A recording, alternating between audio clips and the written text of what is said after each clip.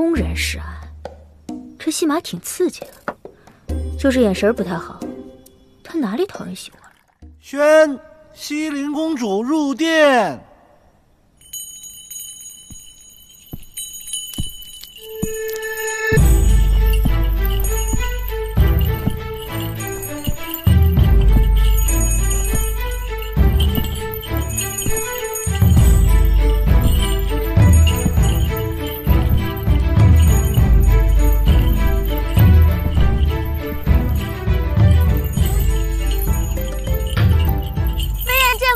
皇上，并代父王向王上问好。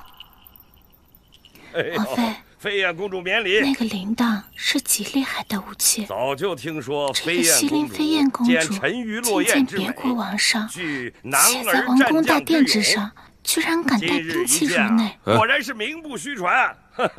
飞燕公主，请坐。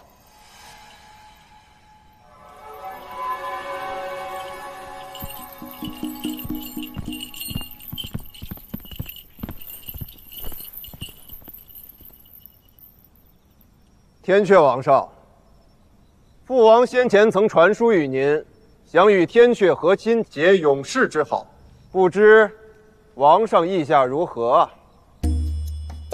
父王久久未得回复，故嘱咐小王代为询问。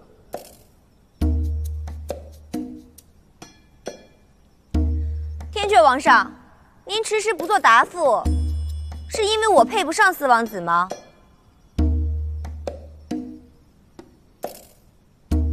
楚飞燕挺豪放啊，公然示爱，这戏码挺刺激的，就是眼神不太好。他哪里讨人喜欢了？哎呦，飞燕公主才貌双全，你要是配不上我们家北岳，那世上还有人配得上吗？那这么说，您是答应了？当然答应了啊。能与西陵结亲，本王倍感荣幸啊！北岳，你说是不是啊？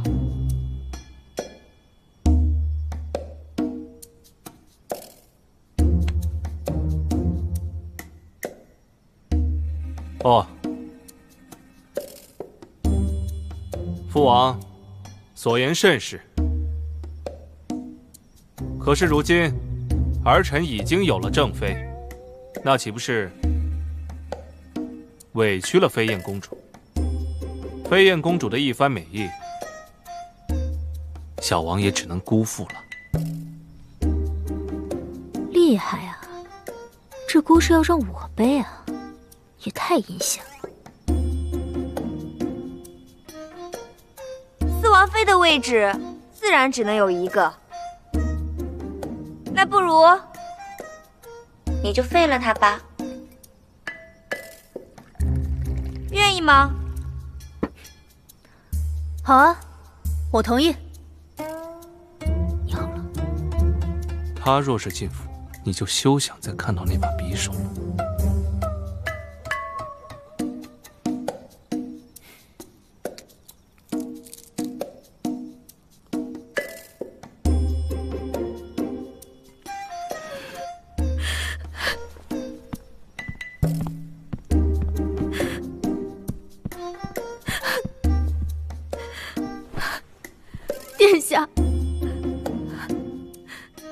臣妾嫁入四王府，一心侍奉殿下，如今却要被废，不知错在何处，请殿下明示啊！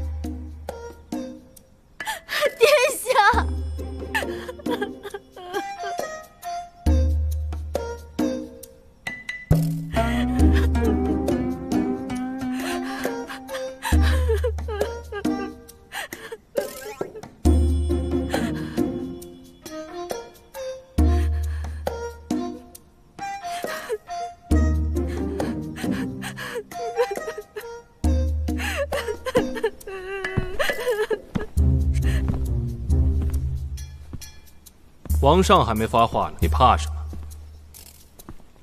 刚才飞燕公主说的，你也听见了。你是我天阙的四王妃，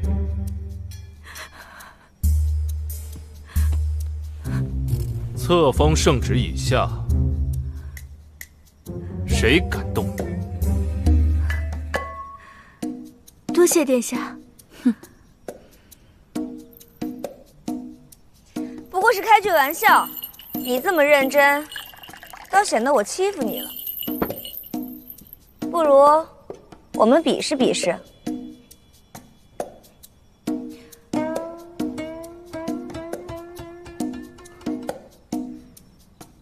要比试啊？听闻天眷选妃有文武之选，不如本公主同你来一场文武较量，如何？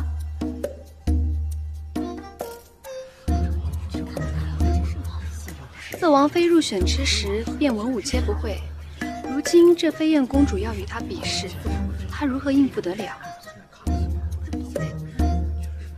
韩子晴这个天阙的四王妃，是由父王亲自册封的，我看已经不需要再有任何的比较了。四王子此言差矣啊！堂堂天阙的四王妃，若是文武皆不会，岂不叫天下人耻笑吗？